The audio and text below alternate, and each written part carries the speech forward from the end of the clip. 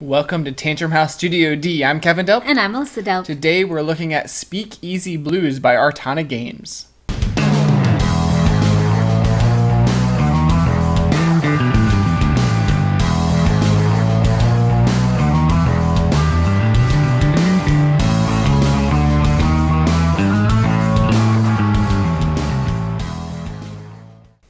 Speakeasy Blues is a 2 to 4 player dice placement worker management game from the same designers as Sagrada, that dice placement where you're trying to make your own stained glass windows.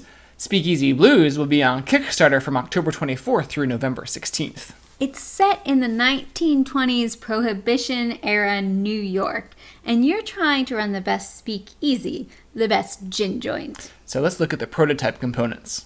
You have the game board and player boards, 10 custom dice in 5 colors, some cards, tokens, and player aids. At the beginning of each round, an event may be activated, something like everyone gets reputation or everyone gets some hooch. On your turn, you take two dice of a matching color off the board, roll them, and then add them to the pool of dice beside the board.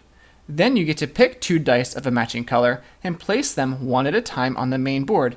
These are your two main actions for your turn. The actions you can perform are thematic to this speakeasy culture.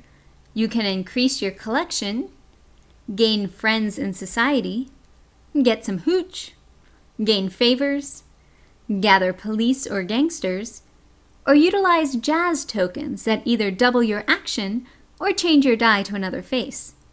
You can also host your own soiree this could increase your reputation and your cash box. You'll be getting cards from a lot of these locations, and they go right into your speakeasy. These could have immediate benefits like Elizabeth Arden, she gives you $3, or actions you can activate once per turn like Douglas Fairbanks, he can give you 3 reputation if you spend a dollar. Some of the cards also help you with endgame points. If you stack collection cards with the same icon, and end with one of those icons on top, you can score some big points. When you get a card from the crime section, you play that card face down. It could be a gangster or a cop. Gangsters are a way to interact with other players, basically hurting them and helping you. But players can protect their speakeasy if they reveal a cop that was face down. At the end of the 10th round, players count up their points. You earn them from having the most icons that match the contests, from having favor tokens, having collections, having a good reputation, and even for the money and hooch in your speakeasy. One of the things I like are the favor spots.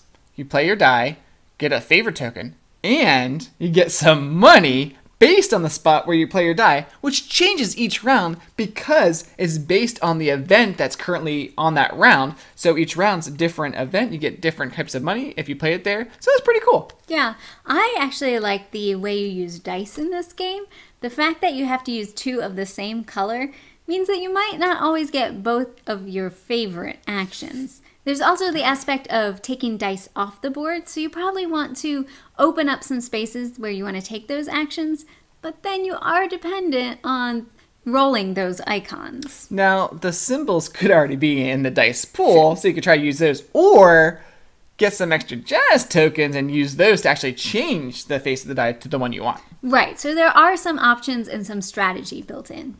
The illustrations and graphic design fit this speakeasy world well with an art deco feel. You even have your own speakeasy that you can play up throughout the game. We didn't even mention that each speakeasy has its own asymmetrical starting resources. So in our first game, we did have a little bit of trouble, or it just took a little time to understand all of the icons in the game, and we did have to go back to the reference sheet several times to figure out some of the card powers. It is a prototype. Right. And Artana, I believe, is working on that, making mm-hmm. them a little clearer. And once we got over that initial language barrier, the game ran much smoothly, more smoothly, and we were able to understand things. I would say that this game definitely has a engine building oh, aspect yeah. to it because you need to be able to have a way to make money so then you can That's buy cards important. and things.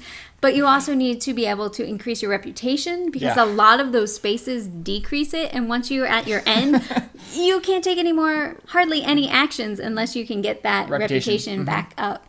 So you definitely have to think about how am I going to generate those things throughout the game. And if you go too heavy on those point cards, the collections too early in the game, then you won't really have space for some of those other cards that actually have powers that are helpful during the middle of the game. I totally agree. So if you like dice uh, worker placement games or like the Speakeasy theme, then check out Speakeasy Blues by Artana on Kickstarter.